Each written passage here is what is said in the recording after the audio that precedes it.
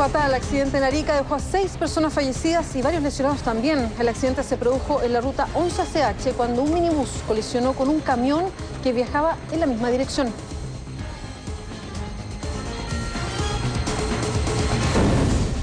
Surge posible donante para madre que espera trasplante de hígado. Se trata de un joven que falleció en Puerto Montt y que donó sus órganos.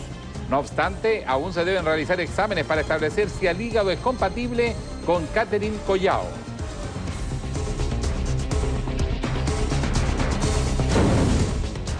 La recuperación de la niña cortada con hilo curado tardará desde seis meses a un año.